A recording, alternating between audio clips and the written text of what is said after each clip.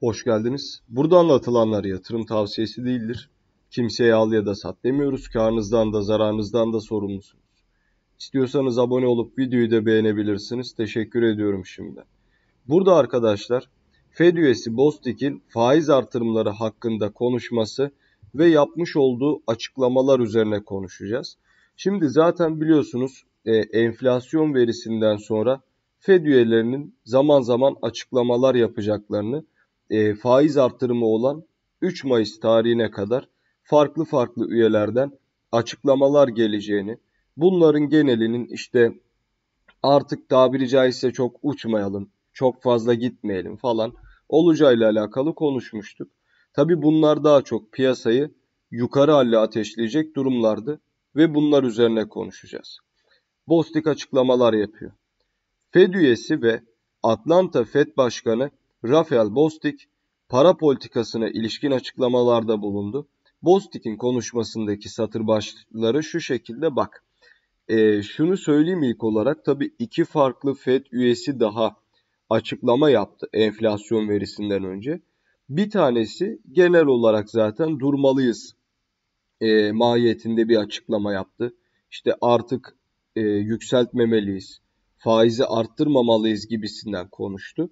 E, bir diğeri hatta dedi ki enflasyon verileri konusunda e, dedi ki enflasyon beklentinin altında gelirse faizi azaltmalıyız dedi arkadaşlar. Faiz indirmeliyiz dedi. Bu şekilde bir açıklama yaptı. Yani iki farklı e, üyeden almış olduğumuz yorumlar olumlu. Hiç değilse en minimal halde söyleyebileceğimiz iki farklı kişiden gelen açıklama durmalıyızdı. Bakalım Bostik ne diyor? Bostik'in konuşmasındaki satır başları şu şekilde. Bir faiz artışından sonra FED faiz artışlarına ara vererek bir değerlendirme yapabilir. Yani diyor ki e, şöyle bir şey söylüyor. 3 Mayıs tarihinde biz bir parti daha faiz arttıralım. Ondan sonra faiz artışlarına ara verelim ve bir değerlendirme yapalım. Tamam bir faiz artışı daha dediği o. 3 Mayıs tarihinde diyor bir 25 bas puan daha gelelim. Ondan sonra duralım ve e, durumla alakalı durum değerlendirmesi yapalım. Ben Bostik'in açıklamasını çok beğendim arkadaşlar. E, nitekim hemen keselim, hemen azaltalım. O da sıkıntılı bir durum. Ya dur bakalım daha dur ne oldu? Bir parti daha arttırmalar lazım. Yoksa uzun vadede hepimiz çekeriz yani onun acısını. Enflasyon geri dönerse. Geçen seneki faiz artışlarının etkisi yeni görülüyor. Bunun etkisinin tamamen göstermesi e, zaman alacaktır. Doğru. E, tabii ki öyle. Yani burada e, yatırımcı durumu diye de bir şey var arkadaşlar. Siz anında faizi arttırdıktan sonra hatta enflasyon verilerindeki e, düşüşleri anında gözlemledikten sonra hemen o halk arasına vesaire bir fiyatlama yapmaz tamam mı? Hem bunun halka dağılımı böyle olmayacaktır. Aynı zamanda enflasyon verilerindeki düşüşü anında sağlamayacaktır. Aslında durum bu. E, enflasyondaki rötar da buradan gelir aslında. Anlatabiliyor muyum? Burada ne demek istiyor? Biz geçen sene hani mesela geçen sene bu adamlar 75-75 atıyordu tamam mı? Ya adam 75 bas puan faiz arttırıyor, enflasyon çıkıyor. Yani anlatabiliyor muyum? Bir dahaki ay geliyor 70 e, 75 bas puan arttırıyor. Bir bakıyorsun enflasyon yükseldi falan tarzında bir durum. Yani Bostik de buna değiniyor. Diyor ki geçen sene yaptığımız artışlar etkisini enflasyon üzerindeki etkisini şu anda gösteriyor diyor ve bu olumlu bir durumdur. Çünkü istikrarı temsil eder. İlerleyen aylarda devam edebileceğine dair e, bir ön koşul oluşturacağı kanaatindeyim. TVB'nin başarısız olması ve bankalar üzerindeki stres son toplantıda para politikasını yeniden ele almamıza neden oldu. Ancak durum hızla kontrol altına alındı ve enflasyona odaklanmaya devam ediyoruz diyor. Yani burada aslında enflasyon ve yine arkadaşlar bankalardaki çöküş e, arasındaki kriz ortamına değiniyor. Yani aralarındaki bu e, korelasyon sürecine değiniyor. Bir süre enflasyon etabını bıraksak da şu anda yine enflasyona odaklandıklarını söylüyor ki aralarındaki korelasyon aslında e, Fed'in faiz politikasından geçmektedir. Bunu da bilmek lazım.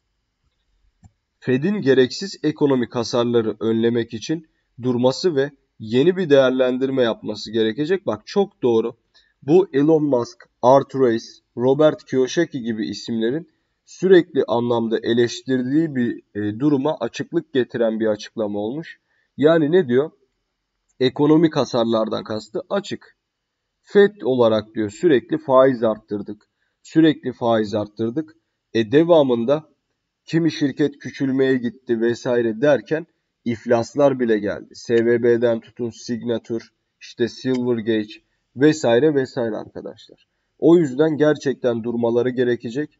Gerçekten bir durum değerlendirmesi yapmaları gerekecek. Hiç değilse en az birkaç ay piyasayı e, rahat bırakmaları gerekecektir. Yoksa maalesef ABD tarafında kalıcı ekonomik hasarlar alınabilir. Bu en başta şuradan geçer. Örneğin faizleri arttırdın enflasyonu düşüreyim diye. E bu sefer bankalarda iflaslar oldu. Bankalar iflas etti bu şekilde. Sen bunu kurtarayım desen dolar basmak zorundasın enflasyon yine arttı. Sen bunu kurtarmayayım desen bu sefer ABD ekonomisi kalıcı anlamda zarar gördü. Ne yapsam boş. Son enflasyon verileri cesaret verici ancak fiyatlar hala çok hızlı artıyor. Fed'in daha fazlasını yapması gerekiyor. Bu şöyle algılanabilir yani faiz kararı olarak algılanmasın adamın söyledikleriyle çelişir zaten. Herhangi bir şekilde daha iyisini yapmamız gerekiyor.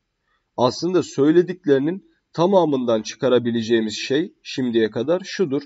Diyor ki ya yapıyoruz ama hala yeterli değil.